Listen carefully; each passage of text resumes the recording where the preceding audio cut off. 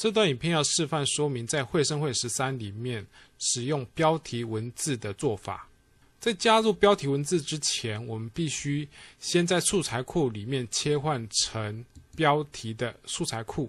那么这个时候，画面当中会提醒我们连按两下，此处已新增标题。好，那么我们一般来讲啊，一段影片的起始画面，我们最好加上一个文字说明这一段影片的主题。好，因此呢，我就在这个地方点两下，接着输入文字。输入完成后，按一下 Enter 键。当文字输入完成的时候呢，在下方的这个标题轨上会出现预设三秒钟的标题素材。那么我们可以去修改它的时间长度。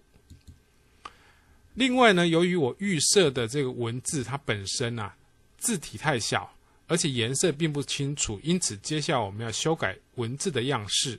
首先呢，我们先在文字的四周围拖曳它的黄色边框，放大文字的大小，移动位置之后呢，接着我们去修改字形。中文字呢，建议使用比较粗的字形。另外呢，文字的颜色也会影响到它的清晰度，因此呢，我们可以去修改文字的颜色。以及在这个地方，它可以增加外框阴影。按下这个按钮，中文字建议使用外侧笔画框线。那我们增加这个文字边框的厚度。另外呢，在阴影的这个标签按下去之后，我们可以指定它的阴影的样式，包括右下方的这种下垂式阴影、光晕式阴影以及突出式阴影。设定完成之后，按下确定。如果需要进一步编辑文字内容，我们可以在文字上再点两下滑鼠左键，接着我们可以按下 Enter 键，将文字做断行的动作。那么断行的部分呢？这个行距本身啊是由这个地方来控制。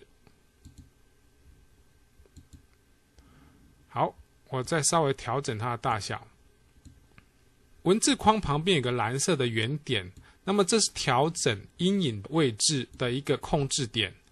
另外呢，在四周围有紫色的控制点，那么这是控制它的角度。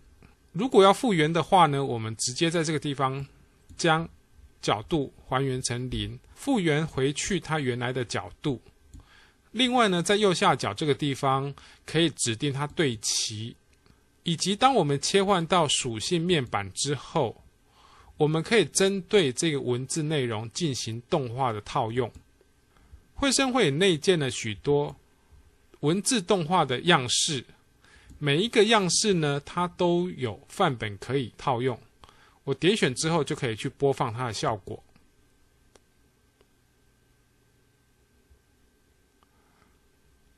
好，那么以目前的这个文字动画来看呐，它的这个出现时间太慢。因此呢，我们可以利用这一个控制节点来调整它的动画时间。蓝色的部分代表它停留时间，那么节点之前代表它运动的时间。调整完成之后再去做播放。好，这一次就可以看到文字出现的时间会比较快一点。文字本身呢，它可以根据它的字源来做动画。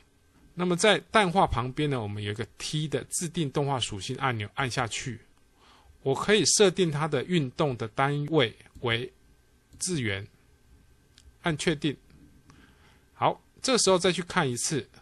那么这一次的文字动画呢，它是根据字源一个一个出现。如果文字动画太快，我再把它稍微调整一下它的动画时间。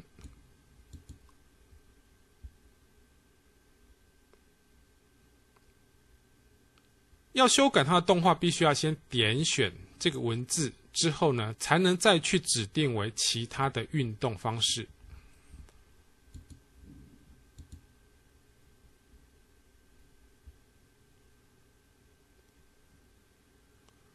好，那么例如以这个移动路径来说，啊，它本身的动画呢，可以设定停留。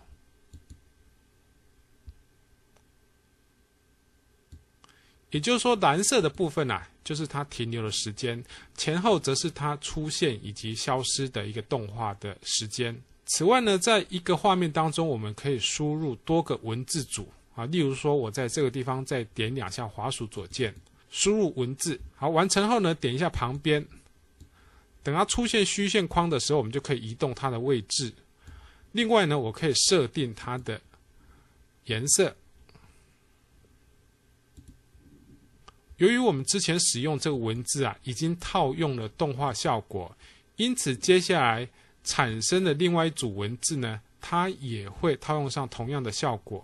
如果不要这些动画的话，我们可以把套用勾选的项目把它去选。那么这个文字呢，就会变成是一个静态的文字。好，我们来看一下效果。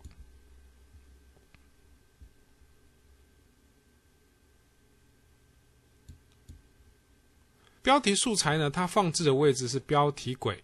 绘声绘影十三啊，它有两个。标题轨可以使用，在轨道管理员的地方，我们点一下，可以启动第二个标题轨。确定之后呢，啊，在时间轴当中就会出现第二轨标题轨。一般来讲，我们会将静态的文字放在一轨，动态的文字放在另外一轨。那么以目前的画面来看的话，我可以先将这个文字复制一份，再将文字把它分开来。它的做法是在素材上面按右键执行复制指令，接着去贴到复叠轨二上面去。再来呢，我们将文字内容把它做一下修改。我将这个文字按下 Delete 键删除掉。另外，我回到标题轨一上面的素材，同样点选目前的这个静态文字，把它按 Delete 键删除掉。那么这么一来呢，动态文字跟静态文字呢就可以分轨存在了。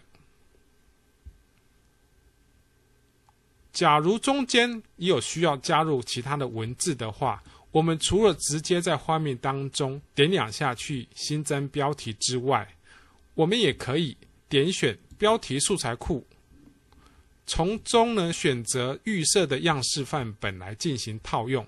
例如说，我将目前这一个样式范本，把它拖移到标题轨上放置。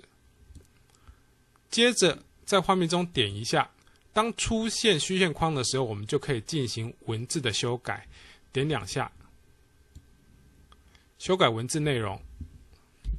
输入完成之后呢，移动位置，修改它的字体以及大小。这样子，我们就可以利用预设的样式范本来新增标题。以上呢是简单说明在绘声绘十三里面加入标题文字的做法。